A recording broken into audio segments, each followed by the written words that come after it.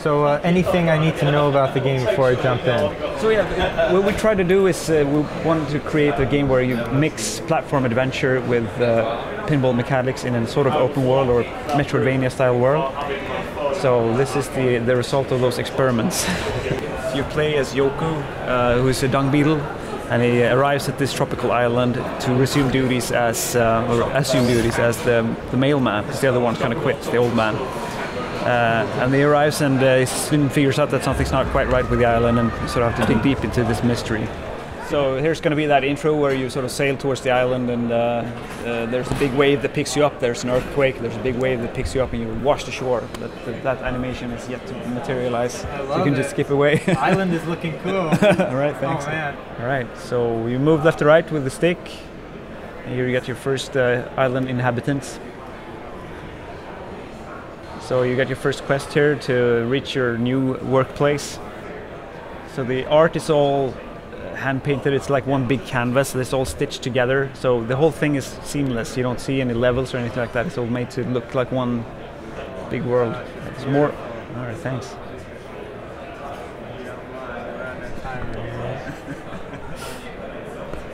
Oh wow, what's going on down there Right, too? so here you have your like the core input mechanics um, on your triggers. You can control these uh, flippers that are part of the environment. There you go.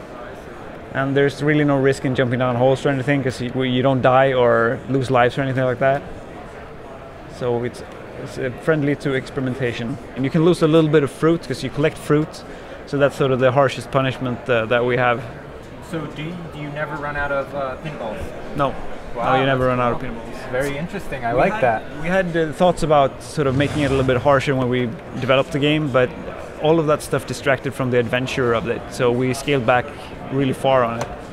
So that it's it's uh, it's, a, it's a bit more of a smooth ride, but it, it's got a lot of skill elements to it that you'll probably uh, you'll find out here. But Nice, I love it. And so it sort of merges into a more of a traditional pinball area here, but it sort of goes in and out from that. And you can always sort of take control with, start walking with the stick if you like, if you're on, on the ground, and take control of the ball again. I like that the ball highlights the flipper. Yeah. Oh, there we go. Feels great. Cool. I see. So yeah, so anytime you run out of inertia, you can just start pushing or pulling. So there's a sleeping islander, but you don't have the tools just yet to wake him up. Oh, and the telescope. This is what I was curious what this is.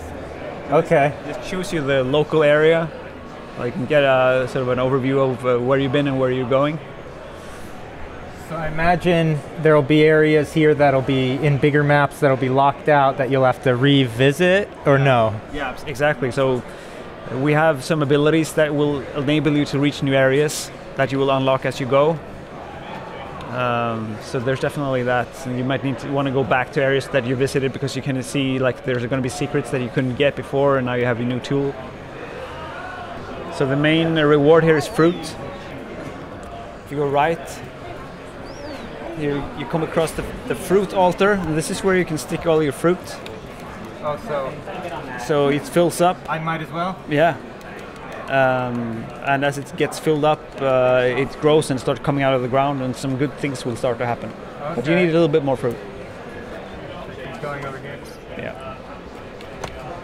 And that weird thing floating in the air up there is part of the uh, the cannon system that is spread out across the island. It's going to be like cannons that sit uh, even intervals, and that's part of like a quick travel system that you unlock later on. When the the mission starts to get like, uh, you need to backtrack a little bit, and you need to traverse quickly. Is that flower a check? What is that? Uh, that is a checkpoint. Yeah, that's right. So if you move to your right now, you have uh, the Mushroom Cove a little bit further to the right.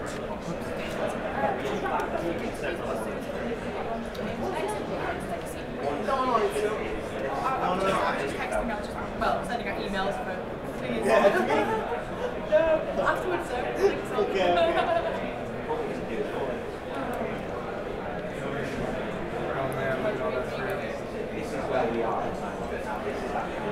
jackpot. but is this is the last point. So I flew away. But when you mix uh, the the, the, the meanings change. So it's like from 7 o'clock to 11 o'clock. Ends. Feels great. So there's the mushroom. So now you're uh, all set to go feed the eel. This is a shortcut down to the eel. Round about the second prison. Pay him a visit. Rattlesnake Springs.